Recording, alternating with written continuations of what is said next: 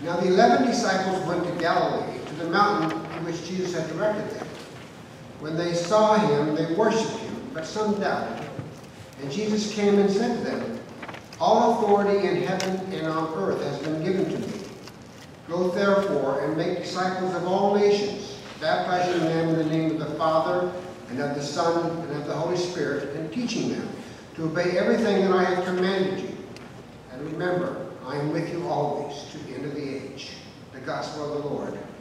Praise to you, Christ.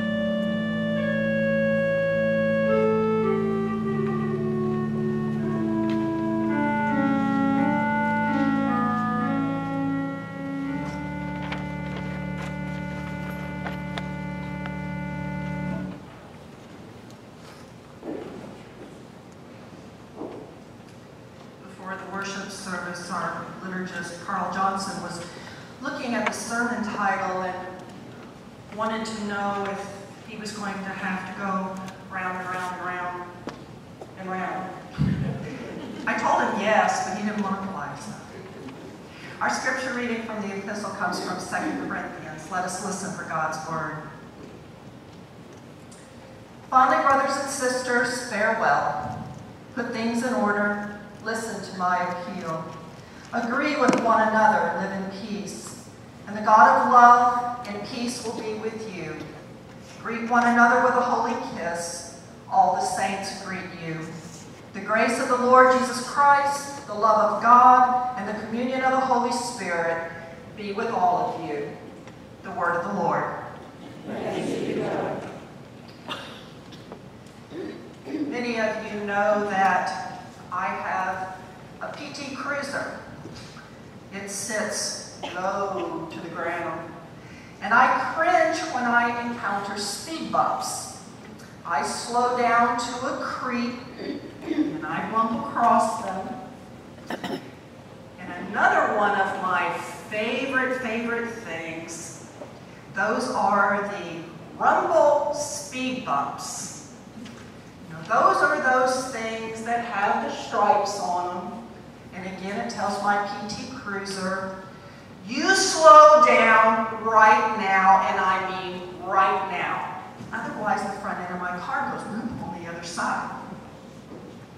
Now, in Jamaica, there is a name for speed bumps that says a lot about driver psychology and about the way the law functions in our lives. In Jamaica, those things are called sleeping policemen. I think that's a really good name. And I think, like the Apostle Paul, we need rules for the road when living in community. We are to learn to play nice and to get along. The passage I read is Paul's bidding farewell to the Corinthians.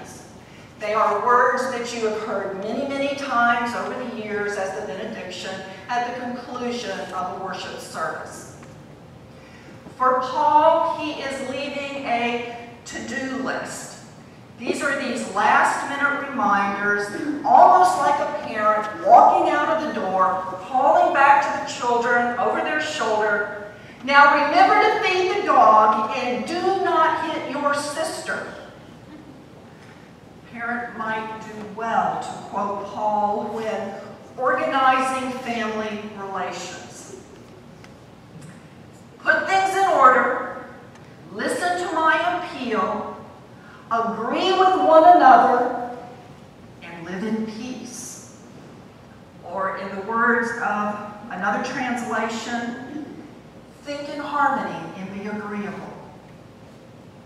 The Corinthians are now on their own as Paul leaves them with these careful instructions on how to live together as the body of Christ. Paul concludes his letter knowing that if the Corinthians follow his advice, not only will they be better off, but he will receive fewer letters of complaint and he'll have to deal with a lot less strife during his future visits. It is now up to these young Christians to take Paul's instructions to heart as they embark on this new challenge of forming community in the name of Jesus Christ. And in forming community, one thing can often impact another. For instance, a man went to a dinner party and he knocked over his glass of wine. So the woman next to him sprinkled salt on the same tablecloth. And then the man tossed some of the salt over his shoulder to ward off some bad luck.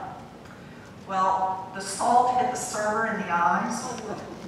So the server rubbed his eyes and happened to drop the platter of chicken on the floor. And so the family dog began devouring the chicken and then choked on the chicken bone. And so the son of the house tried to loosen the chicken bone from this dog's throat, and the dog bit the boy's finger. The boy's finger had to be amputated. And sort of round and round and round we go. Ever feel as though you have been going round and round in circles? Well, there might be a reason for that. More cities are choosing a new approach to traffic control. It is inspired by our brothers and sisters across the ocean, and city planners are planning on replacing traditional traffic signals with a more efficient roundabout. Now, last month I had to go to a meeting at Pine Ridge Presbyterian Church. And I got caught in one of those things. And I went round and round and round trying to find my way out to the street I needed so I could get back here. Proponents tout them as if they're the answer to the modern day scourge of traffic congestion and big city growth. Naysayers avoid them like the plague, sometimes driving miles out of their way to avoid the confusion of this never-ending parade of a circle of cars. Roundabouts. Love them or hate them, we're probably going to see more of them. These roundabouts are supposed to help with traffic. They're supposed to do away with those long lines of intersections while drivers grip their steering wheels, grimly waiting for a green light. Instead of drivers starting according to the changing lights, roundabouts encourage traffic to keep moving in a smooth pattern. Traffic engineers have discovered that roundabouts, or rotaries as we call them here in the United States, are safer they cause less air and noise pollution. They're more efficient than the usual stop and go traffic experienced at traditional intersections. When accidents occur, they're less severe because you're creeping along like a little snail going round and around in a circle instead of barreling through an intersection trying to beat a light. Experts conclude that taking away the need, or really the temptation, to beat the red light has led to slower speeds and thus safer driving.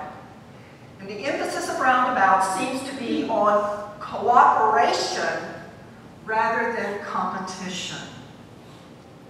Oh, and of course, environmentalists, they're also jumping on the roundabout bandwagon. In an age when any glimpse of green or nature is appreciated, roundabouts are often beautifully landscaped.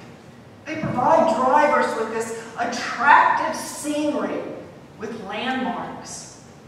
And drivers often appreciate that added beauty by giving themselves more time to decide on a route or to figure which place your road comes off that roundabout. More than one driver has taken advantage of the forgiving nature of roundabouts or rotaries. When unsure which road to take, like I did, you just keep going round and round, enjoying the flowers and enjoying the little fountain. Why not enjoy them while you go one more time? If roundabouts had existed in the first century, I think Paul might have used them as an example for ordering church life. Just as with church life today, some people would enthusiastically take on the challenge of a new idea, while others would moan in chorus, but we've never done it that way before. Yet Rotaries can teach us a lesson about how to survive in community. In Rotaries, as in churches, people need to pay attention to one another in order to get along. And the challenge is to instruct drivers in this new, improved way of working with one another. And it takes a certain amount of education and patience and goodwill on the part of all concerned. But once drivers are accustomed to the new traffic circle, improved efficiency and safety result. The ensuing traffic patterns could be instructive to anyone attempting to live and work together. Rabbi Harold Kushner gives us his take on what it means to come out into a world needing love and kindness. He wrote this. There's a story told of a man who died after having led a thoroughly selfish and immoral life. And moments later, he found himself in a world of bright sunlight, soft music, and figures all dressed in white. And he said, boy, I never expected this. I never expected this. I guess God has a soft spot in his heart for a clever rascal like me after all. And he turned to a figure in a white robe and said, hey, buddy, I've got something to celebrate. Can I take you out for a steak dinner? And the figure answered, oh, we don't have any of that around here. And the guy said, no steak? You're kidding. Well, then how about a game of cards, a little pinochle, draw poker, you name it? And the guy in white said, oh, I'm sorry, but we don't gamble here either. And then the man asked, well, what do you do all day long? And the man in white said, well, we read the Psalms a lot. There's a Bible class every morning. There's a prayer circle every afternoon. The guy said, Psalms? Bible study all day long? Boy, I tell you, heaven isn't what it's cracked up to be. At which point the figure in white smiled and said, Oh, I see you don't understand. We're in heaven. You're in hell.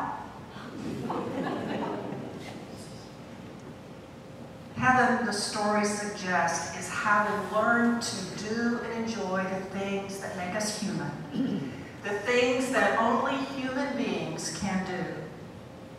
And by contrast, the worst kind of hell I can imagine is not fire and brimstone and little red figures with pitchforks. The worst hell is the realization that you could have been a real human being and now it's too late. You could have known the satisfaction of caring for another person. You could have known the satisfaction of being generous and truthful and loyal, of having developed your mind and your heart, of controlling your instincts instead of letting them control you. And we never did it. No one can argue with the vision Paul paints for his young church. Every intentional community desires to be successful and to live in peace with one another. The challenge is more in the process the challenge is in the process. One wonders if the readers of Paul's letter looked on the back side of the parchment to search for some further instructions or, or some additional insights. The early Corinthians might have wondered, is that it? Is that it? Are there no more details to be given? And the questions abound. Now that we have the goal of agreeing with one another and living in peace, just how do we get there? How do we get there? How do we obtain that ideal balance of working and serving and believing while living in harmony with one another? Is it possible to just decide to live in peace? Has the world experienced millennia of wars and chaos only because of lack of will? Can one wake up in the morning and simply choose to be agreeable and to get along with others in the community? Or is it some concerted effort? Is some concerted effort necessary? Does it require sacrificing strong opinions? Must one constantly bite one's lip lest disagreements arise to threaten the status quo? A Texas rancher bought 10 ranches, and he put them together to form one giant spread. And his friend asked him the name of his new mega ranch. And he replied, It's called the Circle Q Rambling Brook, Double Bar, Broken Circle, Crooked Creek, Golden Horseshoe, Lazy Bee, Bent Arrow, Sleepy T, Triple O Ranch. Wow, his friend said, wow, I bet you have a lot of cattle. Rancher said, well, not really. Many of them have a hard time being tagged with my rancher's name. when differing views and arguments crop up, what then?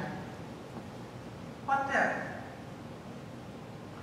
It's a rare pastor who has not experienced church conflict.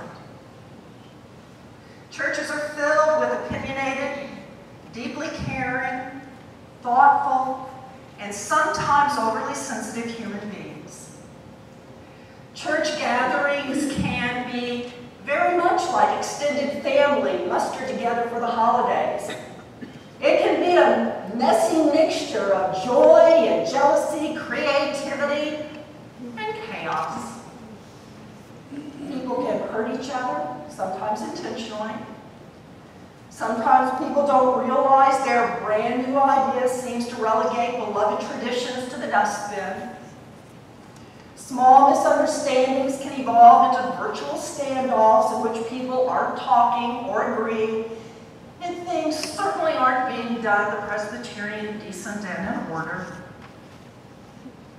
No matter what Paul says, when family members are at odds with one another, the last thing they may desire is to be greeted with signs of Christ's peace. Paul can be asked if that activity is a requirement, or can community members opt out and wait for peace to once again prevail? A conductor of one of the nation's great symphonies was asked to name the instrument he thought was the most difficult to play. And after thinking the question over, he replied, second fiddle. I get plenty of first violinists, but to find one who can play second fiddle with enthusiasm is often a problem. And if we have no second there's no harmony. Even in a short form of the benediction, Paul manages to proffer wisdom that families, churches, work groups, clubs, and organizations everywhere can use. He emphasizes what's important. What's important? Let's all pull together. Let's be mindful of one another. Let's consider how to wrestle with the conflicts that will inevitably occur.